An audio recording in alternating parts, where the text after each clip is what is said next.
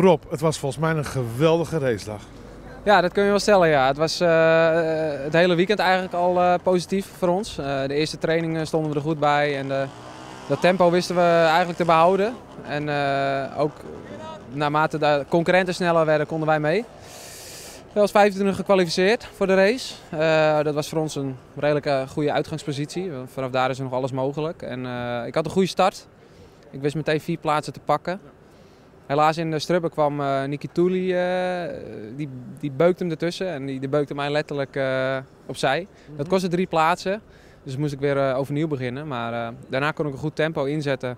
Midden van de race moest ik wel ietsje laten gaan, maar aan het einde van de race kon ik weer datzelfde tempo rijden en naar de jongens voor me toe.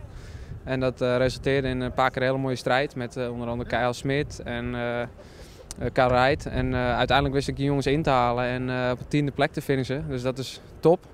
uiteindelijk probeerde ik nog de nummer 9 eruit te remmen in de GT, maar dat, dat ging niet lukken. Dat had fout gegaan anders.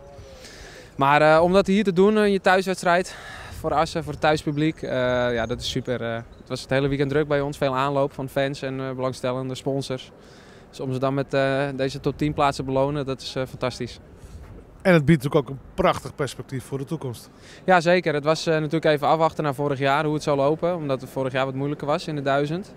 Maar de terugkeer naar de 600, dat, uh, dat gaat super. En uh, ja, we beginnen steeds beter ons ritme erin te vinden. En we hopen deze lijn inderdaad vast te kunnen houden voor de komende races.